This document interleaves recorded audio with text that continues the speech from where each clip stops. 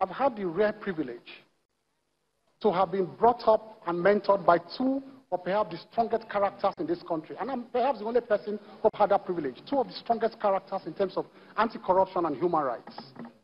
And that is Chief Gani Fawehinmi, who brought me up, like you see my CV. And of course, President Muhammadu Buhari right now. I am the only person who enjoys that privilege.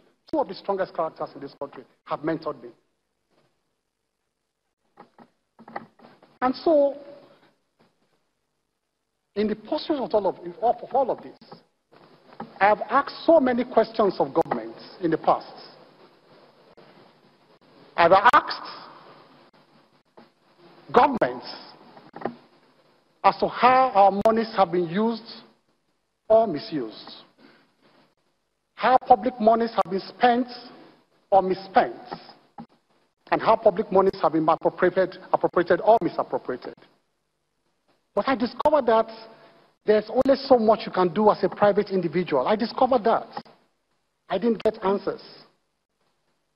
And then, it was then I took a conscious decision some years ago to be part of a political process that could get us into power. I took a conscious decision. Because that conscious decision I took was because I discovered that what you can scream, what you can be screaming on the outside for 10 years to achieve because you have you are brimming with ideas.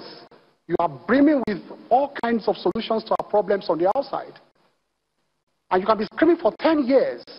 You can only achieve, you can achieve that in 10 minutes when you are part of government and part of a political process. Because you see, it is a natural inclination of governments all over the world to see critics on the outside as enemies. So they, they take your views with a pinch of salt. They see opposition as, it's natural all over the world, as, as enemies. So I took that conscious decision to be part of a political process.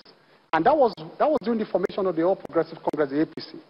And I joined the APC in Delta State. I was a foundation member of the APC in Delta State.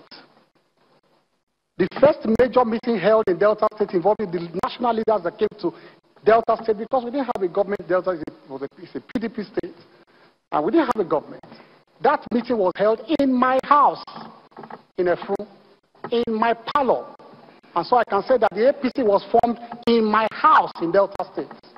It's not a surprise I'm standing here today as a nominee of the APC from that state. It was formed in my house, the APC.